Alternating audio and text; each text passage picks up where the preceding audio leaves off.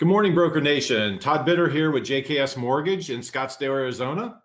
Just wanted to come to you this morning and talk about how to get motivated for the week. I know that right now, you know, it's tough out there, especially you guys that are focused on purchase business um, because the inventory is so low. So I just want to run over a few tips on what I do that kind of makes a big difference for my realtors, which in turn helps me get contracts um, under eh, it. And that goes a long way to building re- realtor relationships when you can be part of that process. So, one thing that I always uh, talk about, and it's a simple, easy thing to do, but very few brokers or loan officers do it, is my realtors know when they submit that offer to the listing agent, they CC me on the offer.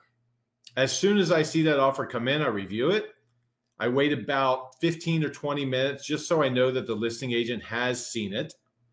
And I immediately call that listing agent and I pump up that listing agent with, Hey, I've already done all my due diligence on this particular customer.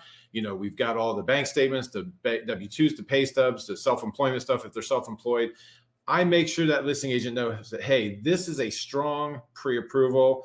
It's not just a piece of paper, and this customer will close on time. I hear nine out of ten times i hear the listing agent say wow you know thank you. I nobody ever does this you know? And to me it's like the simplest thing in the world. And i know some of my buddies in the business are doing it but i think as a whole especially maybe the retail guys aren't doing it. So that'll go a long way to getting offers accepted because that little bit of human touch if you're competing with another offer is very very close.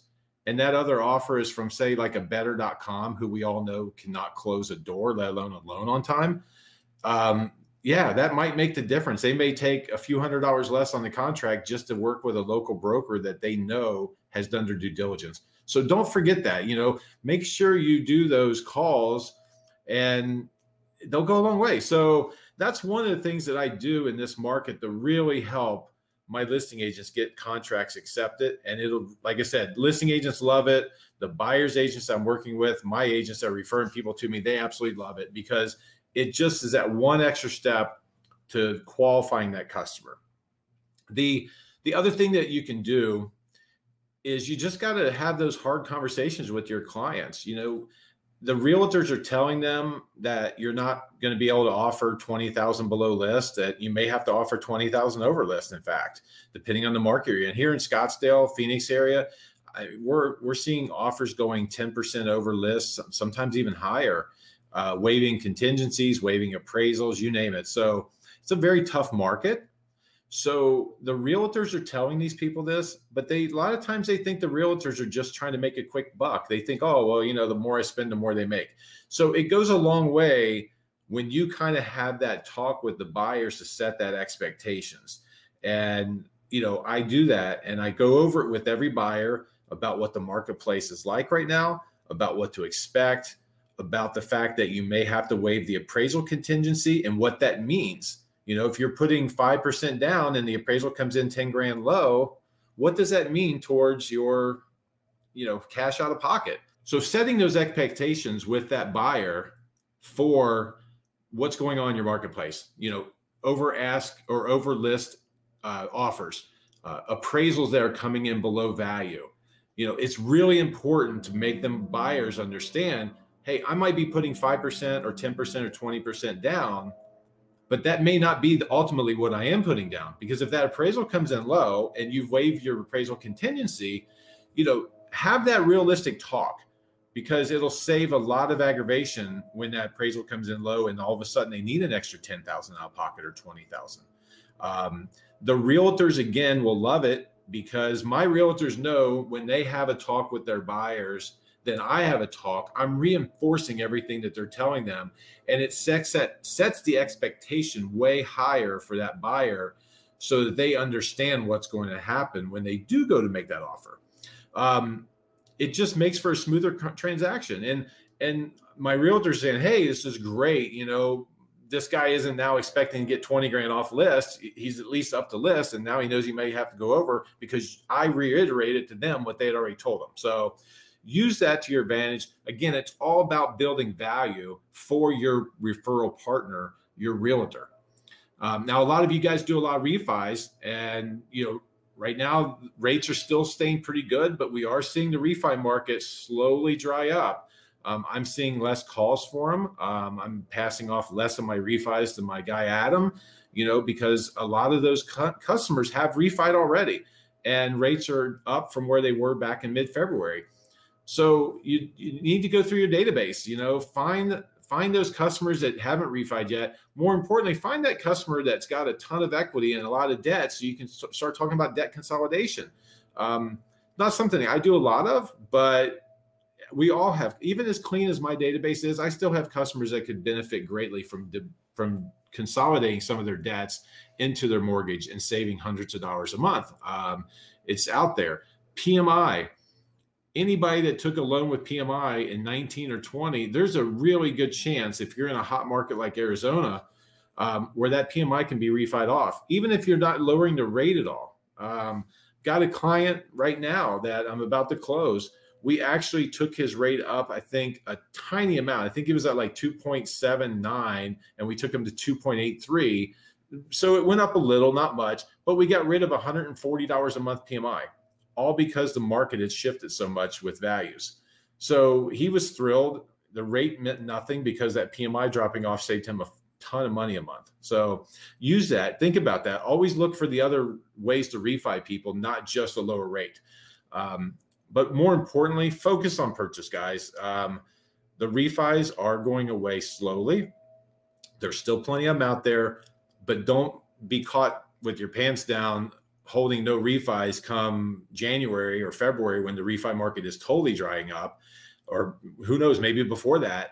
And you're like wondering where the purchase business has come from because the guys that are focusing on realtors now, they're the ones that the realtors are going to remember. My realtors right now are, you know, saying, Hey, you know, I know the floodgates are about to open and all these guys are going to be bugging me to send business their way, but where were they at the last year, year and a half, two years? Um, you know, focusing on those agents now during your busiest times or what's going to make them remember you when you're slow and you need those agents. Um, the other thing I would stress, and I know I talk about this every single time I talk to any of you guys, is answer your damn phone.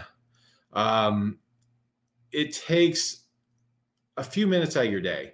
You know, there was a discussion on a Facebook thread Memorial Day weekend about guys saying, Well, I took the whole weekend off. No way. I need my me time. I'm not answering the phone. And then other people saying the opposite, like me saying, Hey, I took my time. I, I took phone calls all weekend. You know, I look at it this way a, a five minute phone call from one of my agents just to see what's going on, you know, and they say, Hey, I got Mr. Smith that wants to make an offer tonight. You know, maybe I spend a half hour with Mr. Smith getting an application, you know, probably not even that because I do everything automated through my website. But that 20, 30, 40 minute phone call, you know, that might be a four or five thousand dollar commission. You know, I know I don't mind taking an hour out of my day to make five thousand dollars or three thousand or two thousand or whatever. You know, I don't think anybody that's watching this, you know, would give up three or four thousand dollars for one hour of their day. Um, you know, I know we're all, um, as I like to call it, a lot of you guys are 2020 rich. You just came off the biggest years of your life, but it's not going to last. So be answer, you know, be ready to take those calls. You know, I hear people talk about how intrusive realtors are on weekends and holidays. They're not intrusive, guys. That's when they're working. You know, realtors don't work nine to five, and the ones that do aren't very successful. So, our job is to assist them and be partnered with them. And it's not a partnership if you only want to take phone calls Monday through Friday when they need you on Saturdays and Sundays and maybe occasionally a holiday. You know, so be ready for that. Be be conscious of that. You know, if you have other people that work with you, trade off. Say, you know, I'll take Sundays, you take Saturdays, you know, every other holiday. You know, you don't have to work seven days a week. You just need to have your phone answered seven days a week. And that is something that so many in our business lack it is what I consider the most basic of basic things that we do as salespeople in the mortgage industry or any industry. If you if you sold cars, you'd be working Saturdays and Sundays. If you sold anything and your phone rings, that's your job to take that call. I'm not saying you have to work 24 7, but somebody should answer that phone. So work in shifts if you have a team. Most of you guys have teams. I don't really have a team, but I do have a partner. I have, you know, Adam who works with us. You know, we all work individually, separately in our own little worlds in our, our own houses, and we're kind of like three one man operations. But when I want to have a full day where I don't take any calls, I can do it because I can pass it off to one of them guys. You know, um, even if those guys weren't with me, if I had nobody else in this world, you know, I would, if I wanted a day off, I would probably forward my calls over to one of my competitors, like uh, like Tom Mancuso over at NEXA, or somebody that I'm tight with that I can trust, because I'd rather a competitor that works with me. You know, you can partner with another competitor. Just make sure your phone's answered because your realtors will remember that. And you know, if you have again, if you're a one man shop with absolutely no help whatsoever, find a local partner that you trust. I guarantee you know somebody in your market that you trust and you're friendly with, and you guys can partner that way. You know, um, help each other out that way. But don't let your phone go to voicemail. Nobody likes voicemail. Nobody likes to wait three, four days to get a call back, or even six or eight hours to get a call back. So again, answer your phone, please. It will go a long, long way. Um, it's everything that I've my number one thing that's helped me create realtor relationships in this world has been communication. Every one of my realtors, if you polled them and said, what's the what's the best thing that you like working with Todd? I guarantee you the number one thing they're gonna say is he's available when I need him. And because I've asked them, and that's always the number one answer is you're available. You know, you're the guy I can count on if I'm in crunch and I really need something on a Saturday at 6:30 at night, I know you'll answer your phone. You know, now I know, guys, it's not always the funnest thing to do to be available all the time, but if you want to succeed and really crush it in this market, it's kind of needed. Now, you know, I'm not saying you all should have to do it. Some of you are very content, mainly focusing on refis and not having to do that, and that's perfectly fine. I mean, but you'll never I don't think anybody's going to make it to 100 million a year without being available when the realtors need you, um, or when the refi market dries up. You know, and you need those realtors. They remember who was there for them when they when everybody else is too busy for them. So keep that in mind. Um, you know, answer your phone. Again, I've said it a hundred times on this uh, over the last few weeks, probably, and probably a dozen times just in this little video chat. Um, but again, motivation for the week is just go out there, find some new agents, crush it with communication, make them feel like they're the most important people in the world, and they will reciprocate it back to you. You know, you'll get partnerships built that way.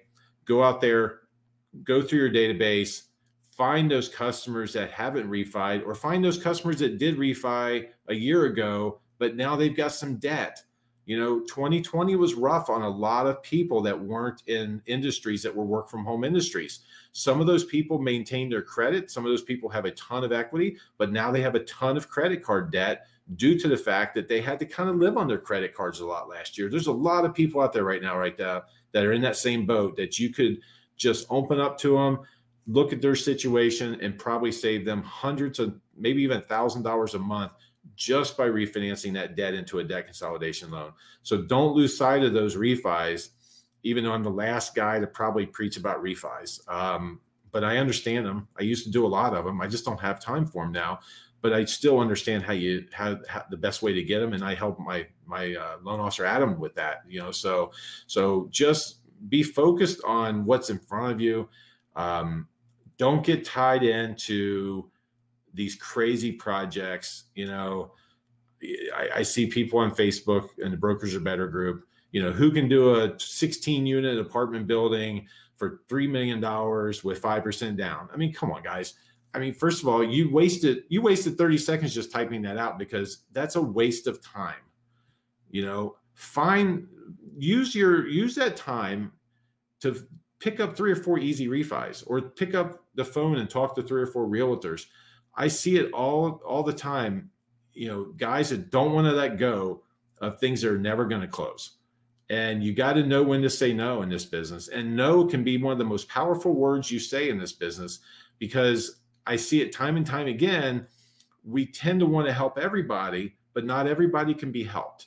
And it's you have to know where that line is and when to say no, because saying no will free up so much more of your time that you can that you can focus that attention on the people that actually are customers that will close that need your attention. So again, answer your damn phone, be willing to say no, look for your database for refis and debt consolidation loans, and go out and hug a realtor today. I mean, seriously, go out there, talk to some agents, you know, tell them why you're why they should work with you because you will answer your phone, you will be there when they need you. You know, you don't have to be working every night till midnight to do that, but occasionally if they need you at that time, answer your phone. They'll love you for it and they will call you back time and time again and they'll remember you're the guy that helps them when they need it most. So again, guys, have a great week. Go out there and crush it. You know, show them why brokers are better. Got the shirt on to represent today. Um, you know, join if you're not a member of AIME, you wouldn't be watching this, but if you are a member, ask your friends to join. You know, there's a lot of brokers out there that aren't part of AIME yet. It's so important that we get every broker involved in AIME because they do things like these videos, and every week they're putting out fantastic content. Um, we're about to have some happy hours in July for National Brokers Day, Mortgage National Brokers more, National Mortgage Brokers Day. Um, you know, so go to those mixers, go to those happy hours, meet other people. You know, I can't say enough about what AIME's done for my career, even though I was doing very well before I met AIME. You know, it's pushed me to that next level because it's made me connect with people that are that motivate me. I mean, there's there's guys in that I meet and girls I talk to in AIME every day that just motivate me to do better and want to be better. And then I go to mixers like here and there, like the one in Scottsdale. There'll be people, my competitors there, but I don't really look at them as competitors. We're all one big family in the broker community. We just happen to compete against each other on occasion. But when we do compete each other, it's so much better because we know at least one of us is going to get it. Um, I'll leave a really quick story about the associations with AIME and how impressive they are.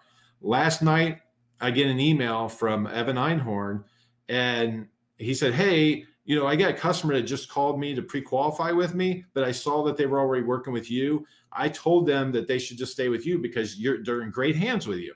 Um, you know that why would evan do that? Well because i would do it back for him and he knows that just like i do it for any of you guys. I try to never take food off other brokers tables here. Um, but if it wasn't for AIME evan and me wouldn't even know each other. And me and evan would be butting heads going out like gladiators over this one customer. But because of AIME we've built that bond that we trust each other and he knows that by passing that customer back to me it'll come back to him from from me the next time around in fact, one of my realtors works with Evan occasionally, and I've promoted Evan to her and said, "Hey, he's a good guy. Use him when you don't use me." You know, so those those bonds and friendships and trust are only here because of AIME. If it wasn't for AIME, we wouldn't have that. And so get your fellow brokers that aren't a member of AIME to join. Get them away from them. That's a dying organization. It's worthless to the broker community they do a few good things, but overall, it's it's just a dinosaur. It's not what the AIME group is. It's not what brokers are better is. And I can't stress it enough, guys. Go out there, get other people to join, and let's make our community bigger, stronger, and better every single day because brokers are better. So next week, tune in for the weekly sales rally. Um, always great content. There'll be a great speaker. So don't miss it every Monday, weekly sales rally for AIME.